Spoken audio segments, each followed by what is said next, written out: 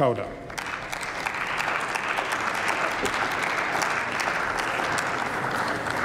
Herr Präsident, liebe Kolleginnen, liebe Kollegen! Da wird ein jüdischer Inhaber eines Restaurants in Berlin hart attackiert und beschimpft und ihm der Tod angedroht. Da trauen sich Juden in Berlin nicht mehr auf die Straße und sich als Juden zu erkennen zu geben. Nach einer jüngsten Studie haben immer mehr jüdische Menschen in unserem Land große Sorge über die Entwicklung und ein viel zu großer Anteil trägt sich mit dem Gedanken, vielleicht doch Deutschland wieder zu verlassen. Auf dem Hintergrund der Shoah und der Ermordung von über sechs Millionen Juden im Dritten Reich tragen wir in Deutschland eine besondere Verantwortung dafür, dass Antisemitismus in unserem Land nicht immer weiter wachsen kann.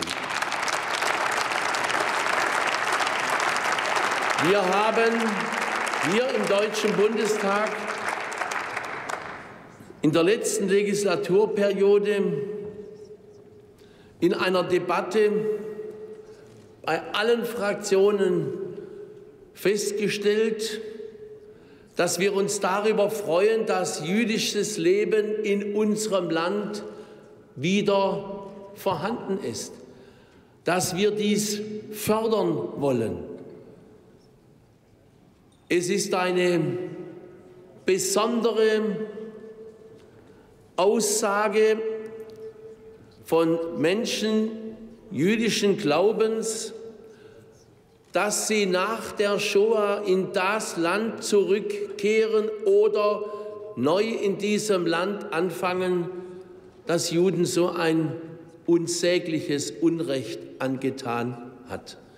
Und deswegen haben wir eine große Verantwortung dafür, dass dieses jüdische Leben auch in Zukunft in diesem Land unbedrängt und weitgehend ohne Sorgen für diese Menschen möglich ist.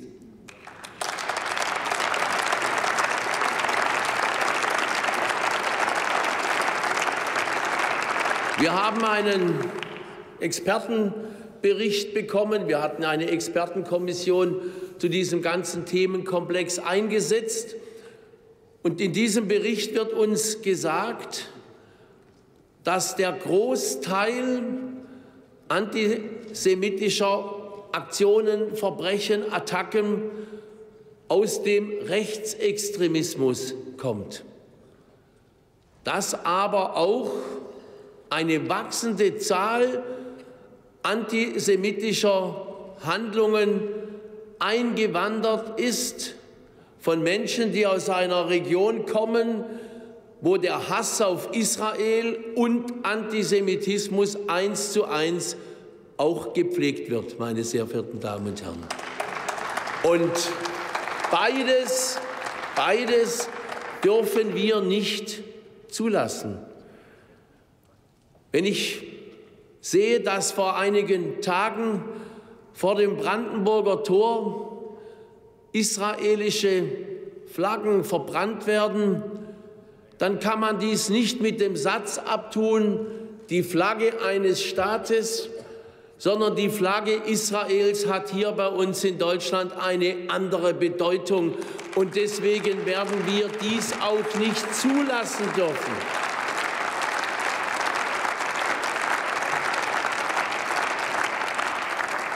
Und deswegen haben wir hier eine große Aufgabe vor uns. Jetzt kann man natürlich darüber diskutieren, ob die Vorschläge der Expertenkommission tatsächlich zu dem gewünschten Erfolg führen. Und trotzdem bin ich der Meinung, dass man, der, dass man den entscheidenden Vorschlag, der dort gemacht worden ist, doch zuerst einmal umsetzen soll Und dann gehen wir an die Arbeit und dann schauen wir uns an, ob es Erfolg hat.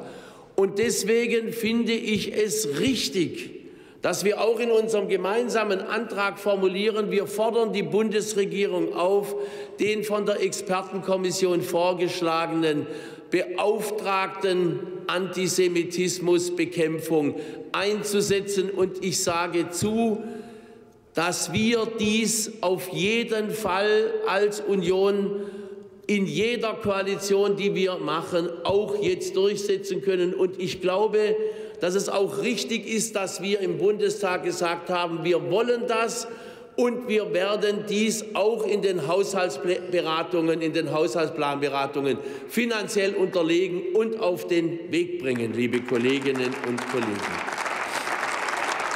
Und natürlich wird in dem Bericht auch gesagt, was dieser Beauftragte machen soll. Und ich glaube, das ganz Entscheidende ist einmal Bewusstsein zu bilden, vor allem bei einer jüngeren Generation.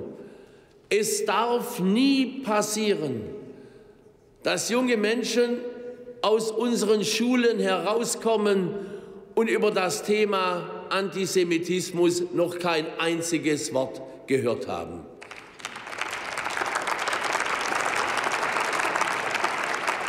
Und wir müssen mit dieser Arbeit, die wir da vor uns haben und auch dem Beauftragten, können wir ein Zeichen setzen an die Juden, die in unserem Land leben.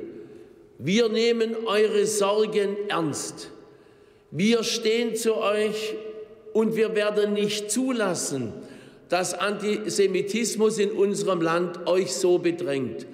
Und wir werden alles dafür tun, dass jüdisches Leben auch in Zukunft in unserem Land weiter existieren kann.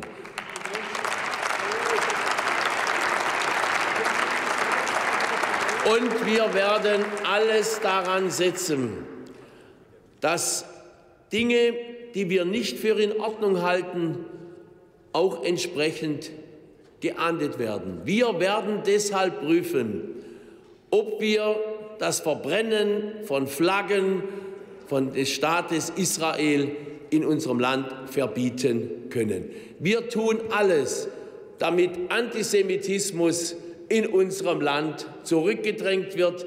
In Deutschland darf es nie wieder Antisemitismus in dem Umfang geben. Und wie wir ihn jetzt haben, muss er weiter zurückgedrängt werden. Und ich kann nur sagen, wer sich antisemitisch äußert, der muss auch entsprechend öffentlich dafür zur Rechenschaft gezogen werden.